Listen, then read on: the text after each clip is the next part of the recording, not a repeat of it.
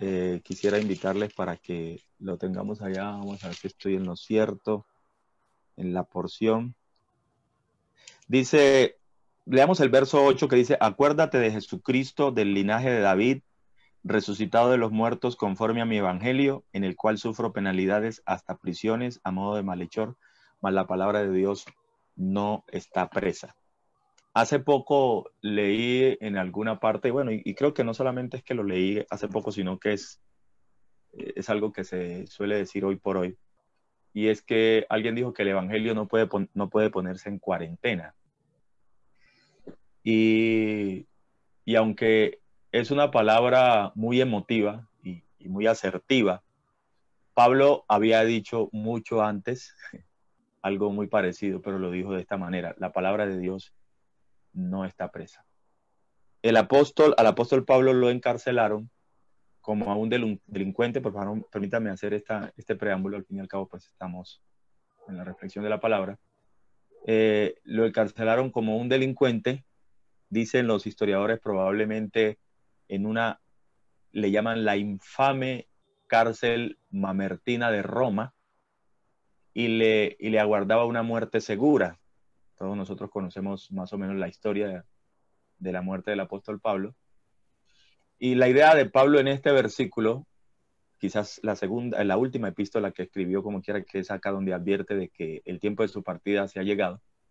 La idea de Pablo en este versículo no es quejarse de su condición lamentable, sino señalar en contraste, el tremendo contraste en, que, en el que mientras él estaba confinado, la palabra de Dios está según él, sin cadenas y que por tanto la palabra de Dios es soberana.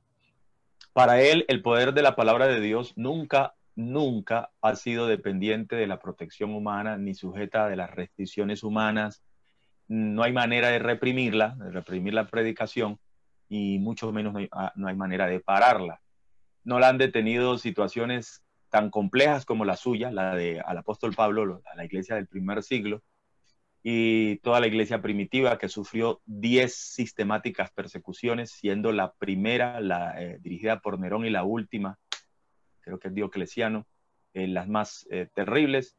Sin embargo, no pararon la predicación del Evangelio y seguro que ninguna otra situación, y vamos a partir de esa premisa, ninguna otra situación hacia el futuro, es decir, hablando desde el apóstol Pablo, que para nuestro hoy sería su futuro, y, hacia el futuro, si el Señor todavía no ha venido, nada detendrá la predicación de la palabra. Esa es la idea de Pablo precisamente en, el versículo y en, la, en el párrafo que leímos.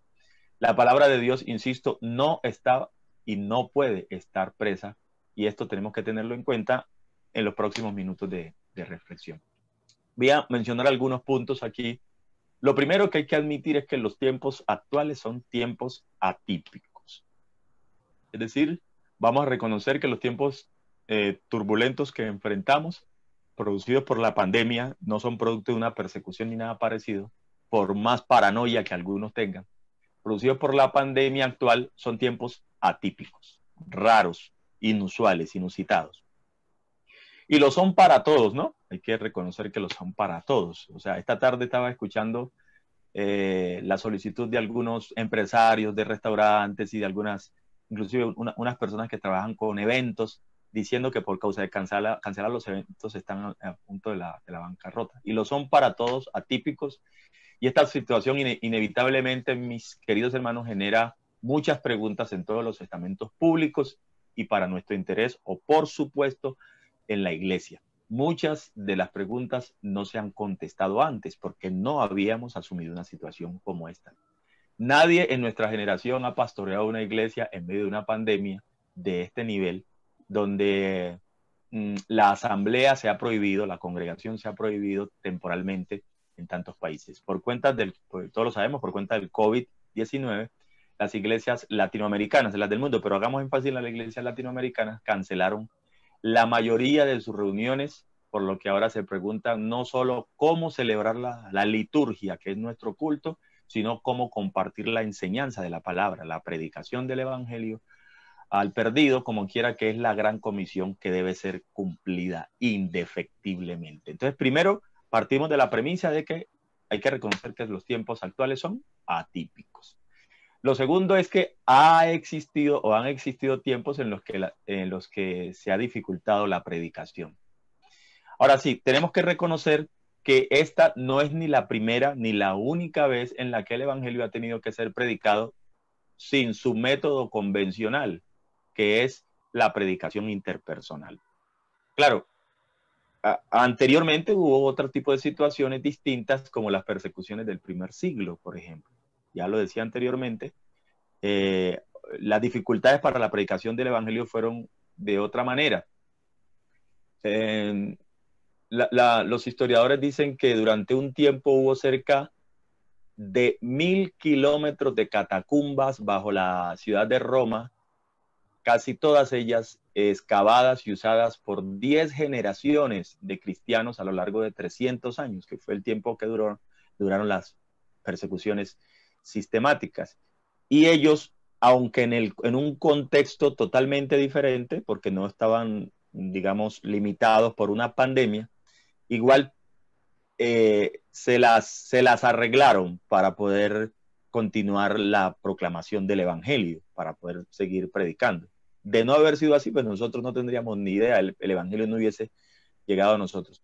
Con la gran diferencia que muchos lo hicieron a costa de su propia vida.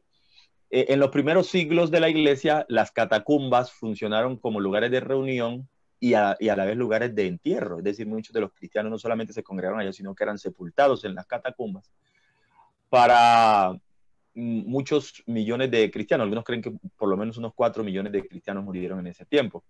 Una descripción común hallada en las paredes de las catacumbas eh, repetía esta expresión, la palabra de Dios no está presa.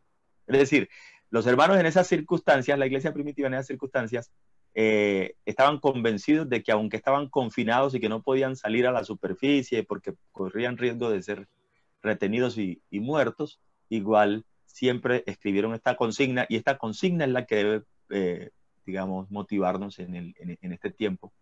La palabra de Dios no está presa, estaba escrito en las, en las catacumbas. Hay una obra eh, de, la literatura cristiana muy famosa llamada El progreso del peregrino, escrita por Juan Bunyan. Eh, dicen que después de la, de, la, de la Biblia fue el segundo libro más vendido en el mundo. Eh, y, es apasionante ver la historia de, Juan Bunyan porque lo encerraron y él predicaba desde la cárcel, gritaba, hermanos, gritaba desde su, desde su prisión y, los, presos contiguos los oían, e incluso personas eh, extramuros, es decir, personas que estaban fuera de la, de la cárcel se, se acercaban a la pared eh, de, de, la, de, la, celda donde estaba Juan Bunyan y gritaba la predicación del Evangelio, porque la palabra de Dios no está presa. Es decir, Juan Bunyan hubiera tenido lo que tú tienes ahora, un celular, un dispositivo. Imagínate tú si en esas condiciones tan precarias eh, pudo predicar y escribió el libro El progreso del peregrino, un, bestseller de la literatura cristiana en Bedford, Inglaterra. Y bueno, eh, es admirable la actitud de ese hombre para predicar el Evangelio. Y tengo una nota aquí que dice, hay una, hay una cosa que es parásica y es que eh, juega a favor de la predicación y es que situaciones como estas generan una sensibilidad espiritual en el incrédulo que el creyente debe capitalizar. Es decir, al margen de que esta situación nos ha creado problemas, digamos, para, la, para, para el ejercicio de la predicación del Evangelio, paralelo a, a, los problemas y por causa misma de la situación se ha creado una enorme sensibilidad Mm, eh, digamos, religiosa, que el cristiano y más que todos nosotros como evangelizadores debemos capitalizar, es decir, aprovecharla, aprovechar la, coyuntura. La gente en todo el mundo está eh, enfrentando el miedo, el aislamiento, la pérdida del, fluir de la vida normal.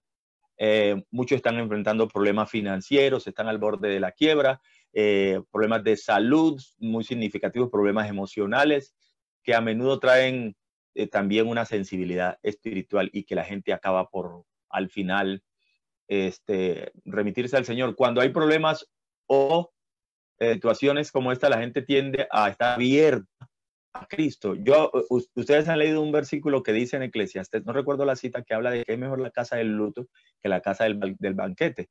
Y a simple vista es un absurdo, porque ¿quién va a elegir en un, un velorio antes que estar en una fiesta? Pero, pero, pero realmente él lo dice porque la situación trágica genera mucha más ansiedad que esta situación de holgorio. Nadie se acuerda de Dios en medio de la bebida, de la parranda, de la ruina se acuerdan si tiemblan en ese momento o si pasa algo que los conecte con las verdades trascendentes, porque hay cosas más trascendentales que las cosas que tenemos aquí. La pandemia nos ha demostrado que, que acá no va ni ser experto de profesional, ni pertenecer a, una casta, ni, ni, pertenecer, ni ser de, de, sangre azul, ni, ni, ni, ser del primer mundo. Es decir, aquí todo el mundo ha estado de rodillas por causa de esta situación.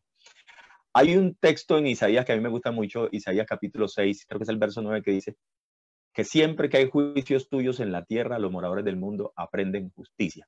Entonces, bueno, yo estoy haciendo este, este, este esbozo y yo no, a mí no me dieron, no me dijeron qué tiempo disponía. Eh, si tengo tiempo, por favor, ya voy a entrar, en, digamos, en detalle de lo, de, lo, de lo demás.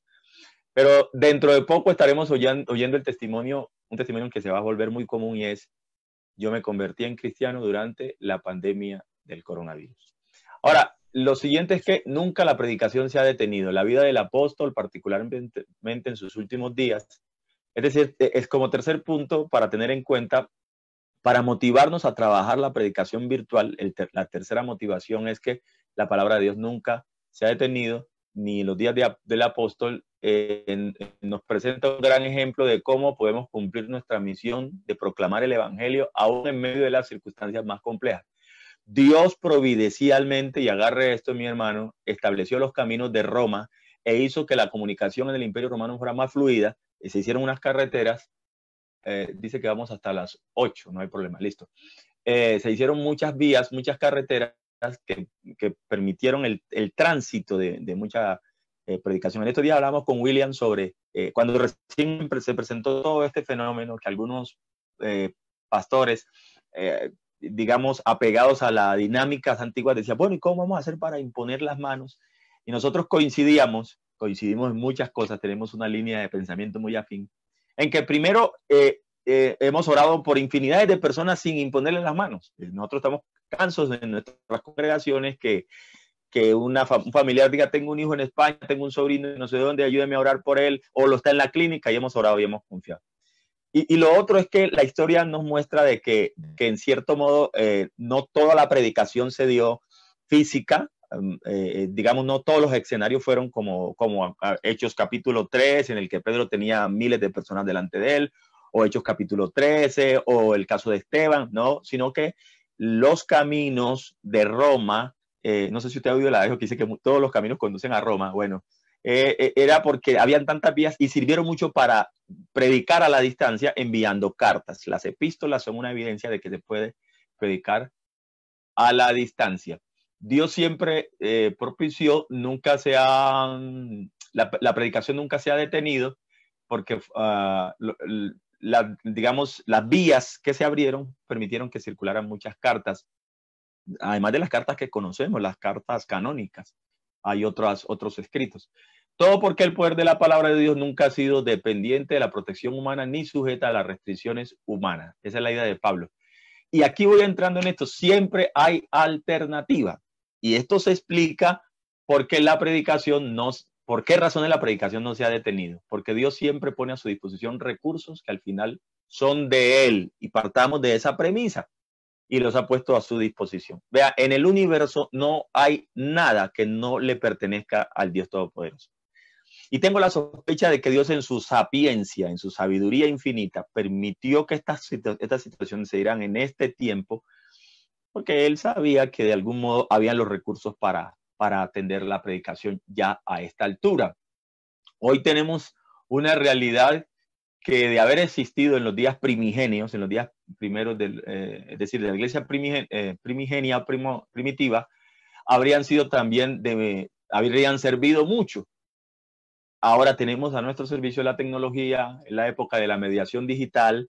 Evangelizar en Internet no es una opción, ni una moda, es parte de nuestra respuesta fiel al mandato de Cristo de ir por todo el mundo y predicar el Evangelio a toda criatura.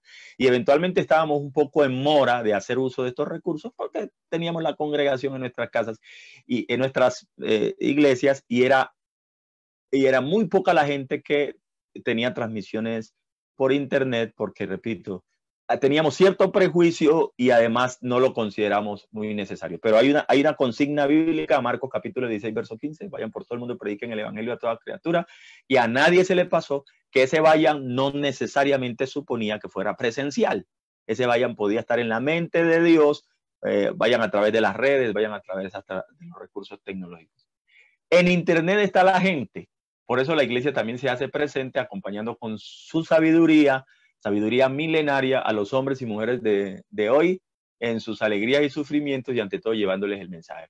Ahora, en un mundo como el que nos tocó vivir, lleno de teléfonos inteligentes, de tablets, de computadoras portátiles, de computadores de escritorio, de smartphones, eh, de teléfonos inteligentes. Tenemos la oportunidad inmejorable de utilizar muchas o todas esas herramientas para la gloria de Dios. Y es que un mundo tan cambiante como el que vivimos la originalidad y la innovación son valores imprescindibles. La iglesia tiene que mm, eh, conservar la originalidad de su, de su mensaje, pero la innovación de sus métodos, porque estamos cambiando de forma, pero no de fondo.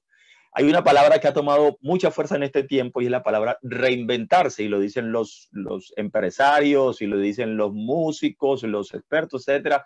Bueno, es una expresión que también debemos utilizar nosotros. Reinventarse, que está muy de moda en las dinámicas empresariales y también aplica para la vida cristiana. Y por supuesto para la expansión del reino, para la expansión del evangelio, que es eh, la espina dorsal, la columna vertebral, la razón central por la cual la iglesia está aquí. Admitamos que necesitamos, hermanos, líderes, de las tecnologías más recientes, las redes sociales y la aplicación de las, las aplicaciones, de las técnicas y las estrategias para poder compartir efectivamente el mensaje del Evangelio con otros. Yo creo que a esta altura nadie pelea con la tecnología. Yo hablaba con Cambindo hace días que con algunos pastores, y había uno en particular en alguna parte del universo, archi enemigo del uso de la tecnología. Algunos teníamos unos prejuicios no tan marcados, siempre teníamos ciertas restricciones, pero habían quienes hacían una guerra frontal desde sus púlpitos contra la tecnología. Y he querido saber y les confieso, tengo una curiosidad por saber cómo este pastor está predicando hoy. No sé cómo lo estará haciendo, pero tengo la sospecha de que lo está haciendo a través de alguna red social. Eh, a esta altura nadie pelea con la tecnología y, nadie se resiste a convencerse de que es muy buen recurso para la predicación del Evangelio. Estos días estábamos teniendo una dificultad con, el, con, el, con un computador, eh, hermano Héctor, hermano William y, Mariano y mis líderes, estamos teniendo un problema con el computador y entonces había que arreglarlo. Y yo le decía a mi, a, mi tesorera, es que estos, estos dispositivos ahora eh, son el equivalente a la energía, eh, cuando nos quedamos sin energía o cuando nos quedamos sin agua, a un servicio público, eh, son el, equivalente al equipo de sonido. Ahora, ahora, en este tiempo. Entonces, mm, métodos que alguna vez eventualmente satanizamos, muchas veces con alguna razón, por, porque se mal, mal utilizaron, pero hoy los tenemos que utilizar. Por eso es sensato pensar que Dios tenía en sus planes el uso de la tecnología. Muchos historiadores afirman que Pablo viajó entre 14.000 y 16.000 kilómetros en un lapso de nueve años. ¿Sabes tú cuántos, cuántos kilómetros puedes viajar sin viajar, sin moverte de tu casa? Mm, tú puedes predicarle a unas personas acá desde tu casa en la China, eh, eh, en Botswana, África, en cualquier rincón del mundo. Y no tocaría hacer todos esos viajes que los apóstoles tuvieron que hacer porque pues no tenían estos recursos. Eh, ¿Qué más les digo? Con el propósito de extender el mensaje de salvación. Ahora en pleno siglo XXI, tú y yo tenemos la posibilidad de llevar este mensaje a millones de personas, distancias mucho más lejanas, en tan solo unos pocos segundos. Por eso debemos ser audaces y comprender que el tiempo que estamos viviendo para compartir de una manera eficaz la palabra de Dios a través de los recursos tecnológicos. Ahora, es cierto entonces, y déjeme hacer esta conexión, es cierto entonces que es importante usar de cualquier medio de comunicación disponible, además de tener testimonio cristiano en todo lugar, de manera virtual y comunicar de la mejor manera posible a las personas la palabra. Reconocemos que esta situación desnaturalizó nuestra manera de predicar y les confieso una cosa, tengo una seria preocupación por los testigos de Jehová. ¿Cómo están haciendo ellos que eran mordaces visitadores puerta a puerta, que tenían una envidiable disciplina evangelizador? ¿Qué estarán haciendo? Volvamos a lo nuestro. Eh, entonces, aunque se desnaturalizó eh, la y que la transmisión misma de un sermón un servicio cristiano ahora con estas mediaciones tecnológicas puede ser un desafío desalentador para unos porque estaban muy rezagados y porque no sabíamos muy bien cómo hacerlo, e intimidante. Sin embargo, es cuestión de tiempo, mis queridos líderes, para que la tecnología se convierta en un subalterno. Ojo con esto, por ahí me dicen que, están llamando por WhatsApp, eh, es eh, la tecnología, ojo con esto, se convierta en un subalterno, en un subalterno de eh, la proclamación del Evangelio y quizás es la hora de que la tecnología se convierta en uno de los mejores aliados de la predicación del Evangelio. Déjenme mencionar a grandes rasgos algunos métodos y entrego ya. No son métodos fijos, sino una compilación de métodos leídos, recopilados y presentados, no utilizados todos. No tengo que presumir aquí de que estoy usando todos los recursos, sino que estamos alimentándonos como alternativas a la predicación desde la virtualidad. Estas cosas están sujetas a la disponibilidad de los recursos. No todo el mundo tiene los recursos. Además, no voy a presentar una lista exhaustiva, pues seguro que hay muchos otros recursos que yo desconozco, pero quiero apelar a los más comunes. Primero hay que decir que hay que no olvidar los hay que no, no hay que olvidar hábitos fundamentales. Primero, orar, recurso infaltable, porque eso sí es impajaritable, orar para que se abran puertas y aprovechar las puertas que se abren con valentía. Luego, crear listas de impacto, de lo que hablaremos un poco, uh, y orar por esas personas y por supuesto planificar tiempos regulares para pasarlo con, eh, con, los, con los, amigos no creyentes.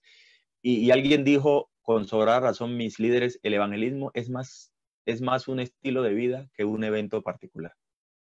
O sea, predicar la palabra de Dios no debiera ser el evento, ese que se dice, oh, vamos a hacer una campaña o vamos a predicar de aquí a 15 días. No, debiera ser un estilo de vida. Siempre es conveniente tener en cuenta que los cambios que hemos experimentado no son, repito, de fondo, sino de forma y por consiguiente lo esencial es eh, no perder eh, las cosas básicas que son la oración, presentar ante Dios esto. Entonces, tenemos un recurso inmediato que es el WhatsApp. Ahí por ahí me decían que los, testigos de tienda el mensaje eh, que están usando mm, y, y tenemos que decir que casi todos, por no decir todos, tenemos un teléfono donde tenemos WhatsApp ahorita nos dimos cuenta que hay un sector de nuestra congregación que de pronto somos ancianos, pero es muy poca la gente que no tiene un, teléfono inteligente y, que no tenga WhatsApp. Entonces el WhatsApp nos permite la posibilidad de conectarnos eh, con un amigo no creyente. Yo no estoy, yo no estoy descubriendo, no estoy dando, es decir, no estoy descubriendo que el agua moja porque ya todo el mundo lo sabe. Estamos lloviendo sobre mojado. Pero conectar a algún amigo, preguntarle cómo les va, podría eh, y, cómo podrías eh, orar por ellos eh, durante este tiempo de incertidumbre, ofrecerle oración a alguien, hermano, y más en este tiempo, es una gran, grandísima alternativa. Mira, nunca hemos encontrado, tiene que ser muy ateo una persona que se ofenda porque le, le ofrezcan oración. No, la gente la pide y si no la pide, uno dice, vamos a orar por ti, te gustaría que oráramos por ti, es una muy buena estrategia. Difícilmente, y repito, y menos en este tiempo en el que hay desempleados a granel, en el que hay problemas intrafamiliares. Yo he dicho, William, que, que la gran paradoja es que la iglesia, eh, digamos, se alimenta uh, del, ah, ¿cómo te dijera yo? O sea, mientras peor es el panorama, mejor le va a la iglesia. La iglesia que donde abunda el pecado, sobreabunda la gracia. Y como la fe es el gran último recurso, el ser humano tiende a buscar a Dios en los en los casos más extremos de la situación. Entonces, en situaciones como esta, la gente está abierta a la oración. Están orando los que no oraban nunca, están hablando de Dios los que no hablaban de Dios nunca. Entonces, a ese amigo ofrecerle eh, la oración le cae de perlas, de perlas. A mí cada rato me están llamando hermanos que dicen que, y, les voy a dar un tip, como estrategia. Nosotros solemos orar, inmediatamente llega la solicitud. Se lo dije a, a mi iglesia y luego se lo, se lo dije a los, a los hermanos, eh, a los pastores del grupo de pastores, mis pastores. Porque te llega una solicitud, ay, oremos por el, en el caso de la iglesia local, oremos por la hermana fulana, un amigo pidió oración, la hija de no sé quién está hospitalizada y no sé qué. Amén, amén, vamos a orar. Y yo no, no, la verdad, no oramos nunca. Entonces yo le dije a los hermanos, en lo adelante, cuando llegue el mensaje, cancele lo que está haciendo, porque orar es simple, o sea, no tienes que hacer un ritual. Cierra tus ojos un par de minutos, no tienes que hacer una letanía y haz una oración inmediata. De Señor Jesús, te pido por el hijo de fulano, por el esposo de no sé quién, ta, ta, ayúdale. Y la iglesia nuestra está haciendo así. Y le sugerimos también eh, modestamente a los pastores del distrito decirles, pastores, cuando llegue una solicitud, inmediatamente oremos. Y creo que lo estamos haciendo. Cada que aterriza una petición, yo por lo menos lo hago. Cierro los ojos inmediatamente. Padre Celestial, mira lo que le pasó al hermano, ayúdalo, tan, tan, tan, tan, tan. Hecho. Entonces, es una sugerencia. Orar eh, con, al amigo que contactaste. Bueno, también conocemos los grupos de discusión, que, que, es el grupo más común en el que hay mucha gente y que se habla de todo, aunque estos grupos tienden a viciarse, a perder el objetivo se vuelve un caos donde todo el mundo sube cosas y hay contiendas y hay debates. Entonces es un poquito complicado el grupo de mm, discusión, pero también es una estrategia para agremiar gente. Lo tercero que nos ofrece WhatsApp es el grupo de difusión. La lista de difusión eh, de WhatsApp son una función que nos permite enviar un mensaje a nuestros contactos de, de forma masiva. Y aunque no se crea un grupo en el sentido estricto de la palabra, con una vez que lo crees y le hables a alguien, eh, es decir, hables una vez, mandas un mensaje, un saludo, una oración que ha sido, todo el mundo lo recibe. Todo el mundo lo recibe. No hay un grupo que ellos te van a contestar y va a aparecer en tu WhatsApp, pero no hay un grupo como tal. Ah, hay algunos aquí que saben de qué se trata. Estas listas son útiles a la hora de, de mandar un mismo mensaje a varias personas sin la necesidad de copiar y pegar el mensaje entre conversaciones sin crear, repito, un grupo convencional. es bueno enviar saludos, mensajes breves, imágenes con versículos. Nunca sabemos lo que Dios puede hacer a través de una simple invitación. Eso a grande rango WhatsApp. Luego tenemos las redes sociales, que no es un secreto para nadie que las redes sociales se han convertido en uno de los principales eh, medios de comunicación masiva y más ahora. Y esto porque existen actualmente mm, 3 mil millones de usuarios, de usuarios activos, más o menos. Estamos hablando casi del 50% de la población y creo que más, mucho más, este dato puede ser un poco más, uh, de, digamos, antiguo en las redes sociales y este número tiende a crecer cada vez más con la dinámica de, mejores constant, eh, de, de mejoras constantes de estas plataformas y el surgimiento de nuevas. Latinoamérica es la región más involucrada en redes sociales a nivel global, al punto de que es bien difícil encontrarse con una persona que no tenga por lo menos una cuenta activa en una de las tantas redes sociales. Ya sea a través de blogs, que es una, una manera de escribir y no la utilizamos mucho nosotros, Twitter o Twitter, que es una, una, red social donde se escriben mensajes cortitos, eh, ciento y tanto caracteres, o sea, letras, no se, no se pueden enviar largos mensajes.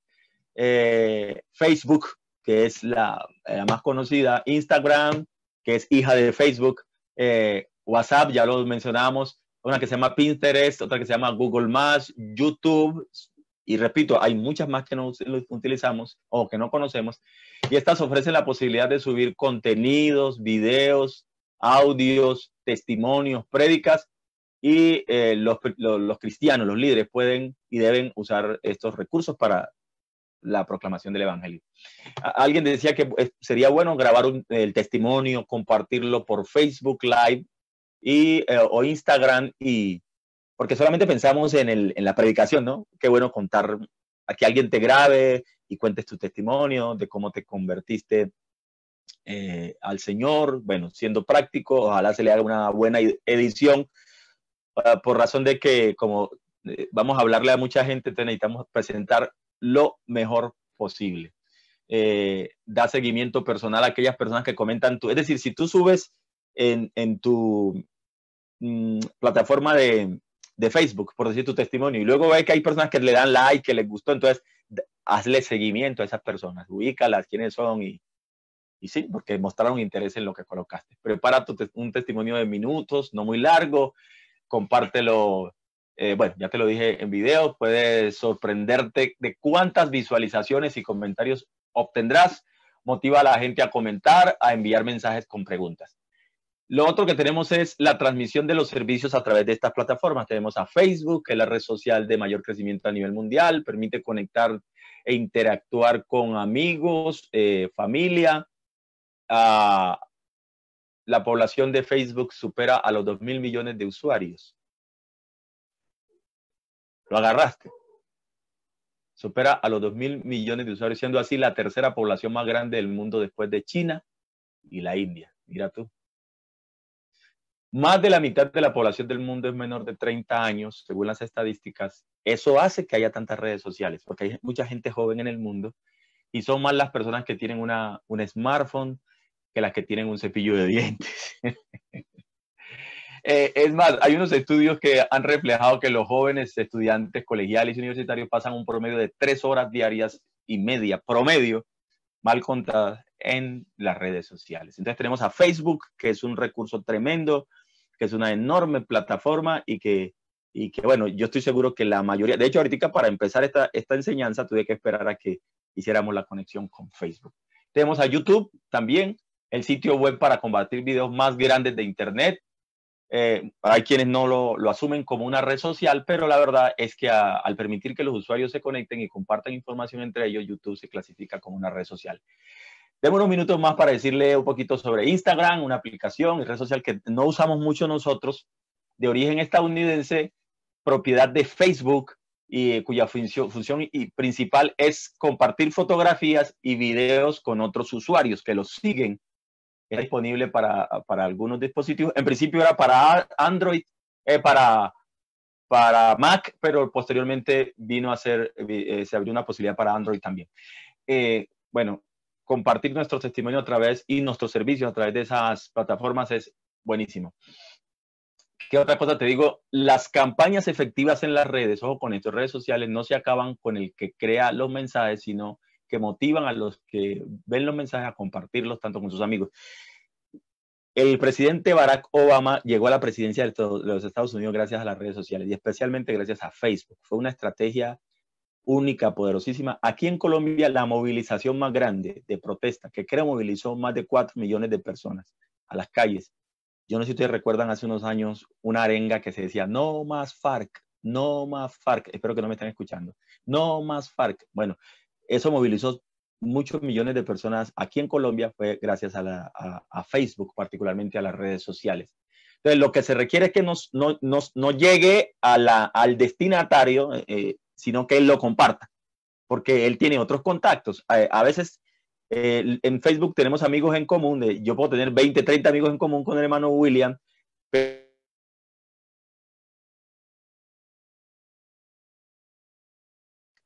que no es otra cosa que el enlace, es un tecnicismo, es un anglicanismo, una palabra de las tantas que le hemos heredado al inglés, eh, pero link es enlace, entonces es una, es una conexión. Entonces, eh, las campañas, el trabajo por las redes sociales no solamente consiste en que se estanque en la red, que me llegue a mí punto, sino que de mí se replique a otra parte. Y por supuesto tenemos los programas o plataformas para videoconferencias como son Zoom, que es la que más utilizamos. También existen otras que ofrecen algunas diferencias, eh, algunos, algunas diferencias, pero con los mismos servicios, como una que se llama StreamYard. Eh, hace poco estuvimos predicando con esa. Una que se llama Jitsi, una que se llama Ovo, una que se llama Slack, Microsoft Team, eh, GoTeamMeeting. Eh, perdón en mi inglés, no soy muy bueno en inglés. Pero bueno, GoTeamMeeting es más o menos, vamos a una reunión. vamos a una reunión. Meeting es una reunión. Google Meet, eh, Blue Jeans, eh, Meet, eh, Webex Meeting, Skype, que es una de las más antiguas, la usan mucho en los, en, los espacios universitarios, una que se llama Google Duo. Hay unas que son muy pequeñas, ¿no? Que agremian solamente 8 o 10 participantes, como Google Duo o como Google Angus, que reúnen solamente 10 personas. Facebook, Zoom sí te da una, un espacio, un escenario, un aforo mucho más amplio. Esta, esta plataforma ofrece la ventaja de la interacción eh, eh, o sea, son más interactivas eh, que otras plataformas y te permiten pues, hacer lo que estamos haciendo, que ustedes me escuchen y, y, yo los escucho a ustedes. Esto es comunicación, mis líderes. Porque hace años nos enseñaron que los medios de comunicación era la televisión, por ejemplo, y la televisión no comunicaba, la, la televisión informaba. Porque cuando alguien está hablando en una sola dirección y el otro no puede responder, eso es informar. Y lo que hacía la, la televisión era informar. Por eso la televisión hacia el tiempo se convirtió en un, poco interactiva, de tal manera que la gente escribe y al pie del televisor está saliendo una palabra, porque la palabra comunicar es poner en común, poner en común. Y eh, en estos momentos ustedes me están escuchando, pero, pero, pero están interactuando conmigo porque están escribiendo algunos mensajes. Entonces se llama comunicación, ¿no? Hay que, hay que puntualizar eso. Voy a ir entrando a la recta final. Creo que estoy hablando mucho. Me perdonan, pero es que acá en este encierro uno no hace y no de enfocarse.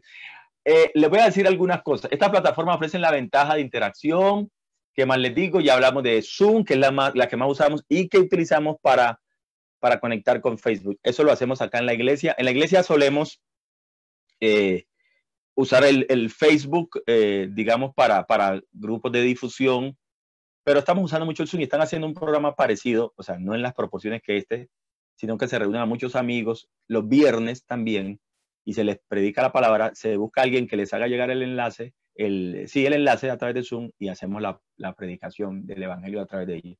Entonces tenemos el Zoom y tenemos todas las plataformas, el Facebook, hay quienes transmiten eh, sus mensajes no solamente por Facebook, sino también por YouTube y también por Instagram.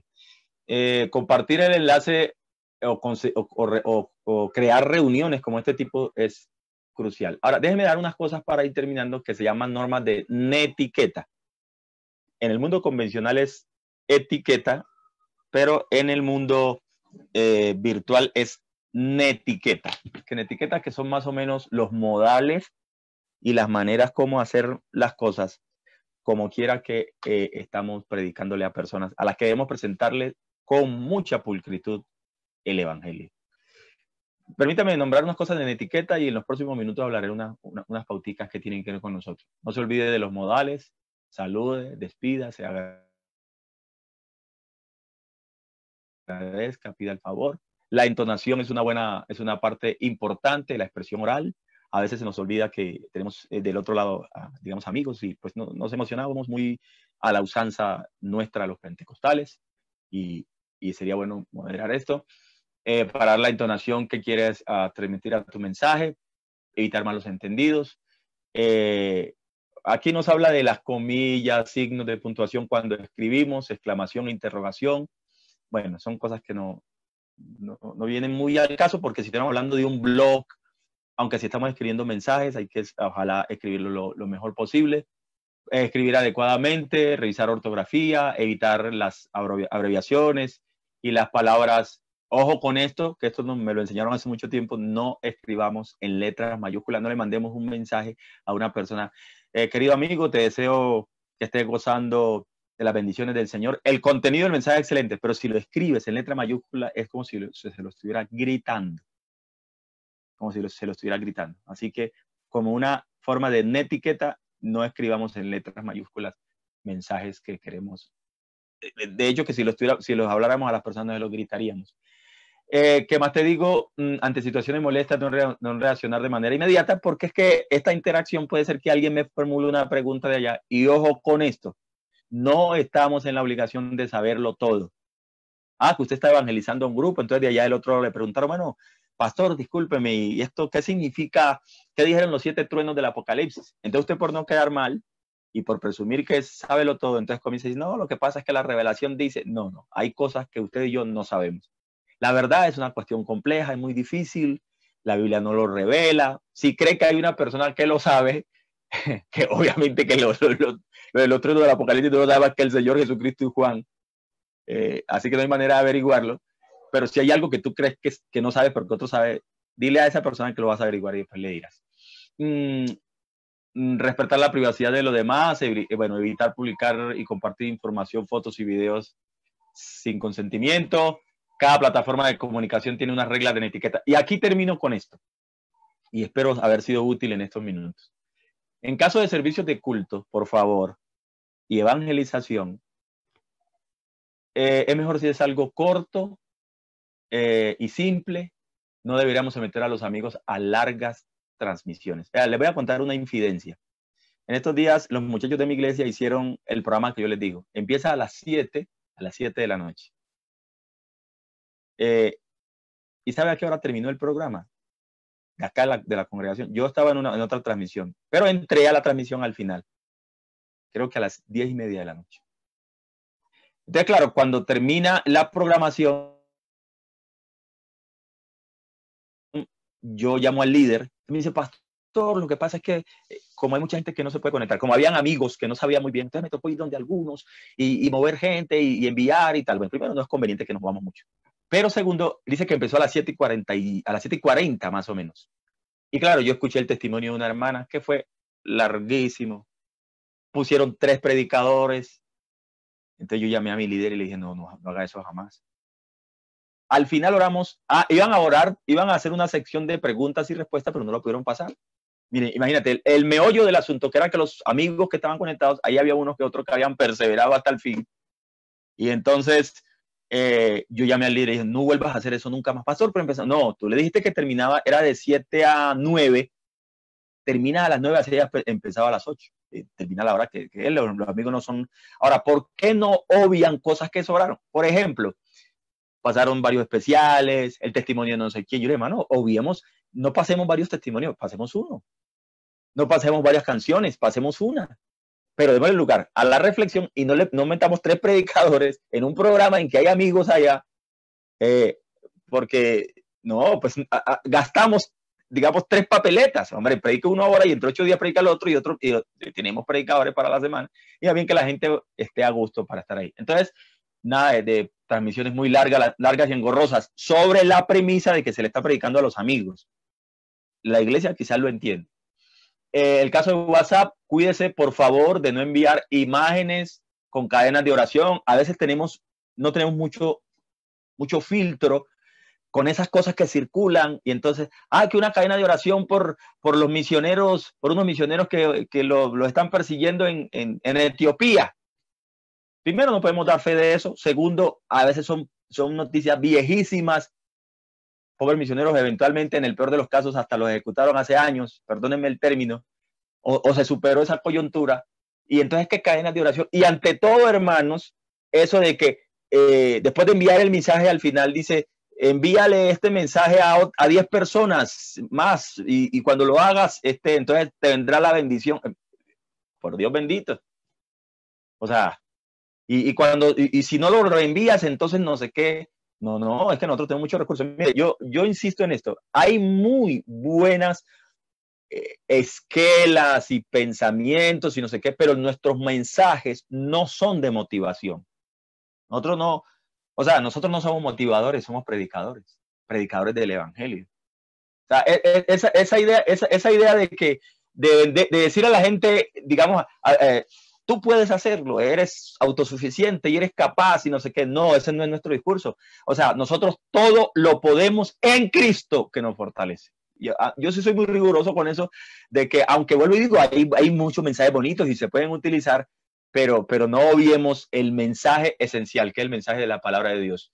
No insistamos en los mensajes de superación, porque la necesidad más grande del ser humano no es superar sus problemas, es conocer a Jesucristo como su Salvador personal. Repito, admitamos que hay cosas que no conocemos, entrenemos a las personas que han de participar, los, que, los líderes, los que han de evangelizar, que tengan mucho cuidado, mucho rigor, eh, ser muy muy prácticos a la hora de, predicar porque no sabemos qué auditorio tenemos, no estamos viendo a la gente que está con nosotros. Involucrar a las personas idóneas para que participen de los lugares idóneos.